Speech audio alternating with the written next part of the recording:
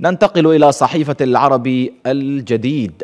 تحسين الاقتصاد ومكافحة الغلاء وإعادة الاعتبار لليرة كلمة السر في الانتخابات التركية. مع اقتراب موعد الانتخابات التركية يخيم الأداء الاقتصادي على الأجواء. وتتصدر الحالة الاقتصادية بشكل واضح وعود المرشحين وأجنداتهم.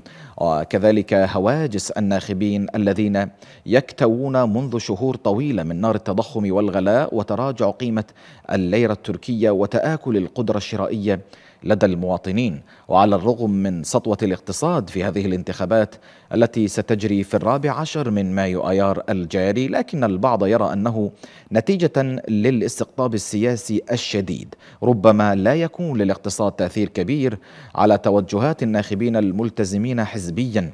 وتعاني تركيا الآن من معدلات تضخم عالية تزيد عن 51% بحسب الأرقام الرسمية للحكومة.